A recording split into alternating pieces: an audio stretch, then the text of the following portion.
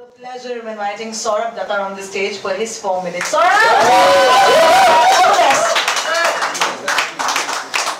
What's up, everyone? Hi. What's up? What's up? Uh, I just lost my debit card, so I'm poor, which doesn't matter because I'm from Thane. so Thane is this place, uh, you know, where uh, nothing really happens. Can just say the word Thane and people will still start laughing.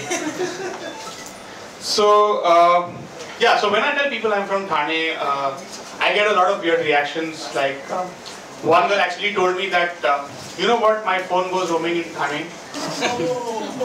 Which is bullshit because we don't even have cell phone connections. so we're kind of used to nothing uh, really happening in our place and uh, and even when we are outside we we have to go a really long way and like I came to I come to Bandra here and we can't really concentrate on what we are doing because in my mind I am still thinking I have to take the fucking last train home. and uh, because and nothing cool really happens here. For example, uh, give me a cheer if you remember there was an earthquake last uh, early this year in Bombay. So Worli, Bandra, everyone felt it. Thane didn't feel shit. The earthquake, you know, it probably came all the way up to Thane and then said, oh fuck, it's a toll naka, I'm not entering here. so, uh, okay, I'm going to talk about uh, uh, Mr. Dhoble. Give me a, can I have a loud fuck you for Mr. Dhoble? that reminds me of my days. So, uh, like Dhoble raided a, a lot of places and uh, but the worst of his raids was when uh, he went after a massage parlor in Powai and uh, which was actually a prostitution racket.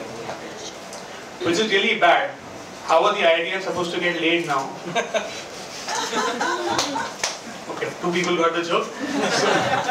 so, uh, not that was the only place where the IITians could actually get some sex. But uh, you know what's even worse? Just a couple of days after that, a leopard was found having sex on the grounds of IIT Powai.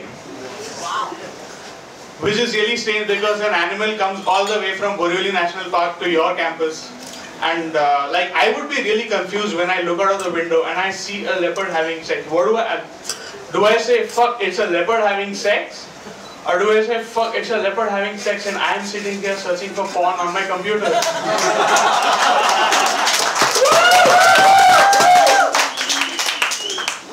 So while I was coming here, I was actually listening to, to the radio, and uh, give me a cheer if you if you think that the new songs don't make any fucking sense.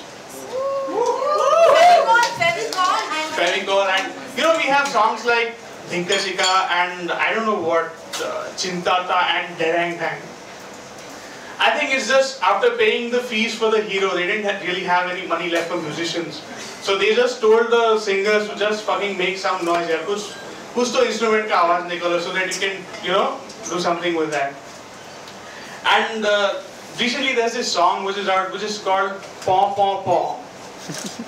I mean, what in the world, I mean, what is that moment of inspiration when you come up with the lyrics does someone really fart in the room and the lyricist says, "Fuck, that's gonna be my main hook of the song"?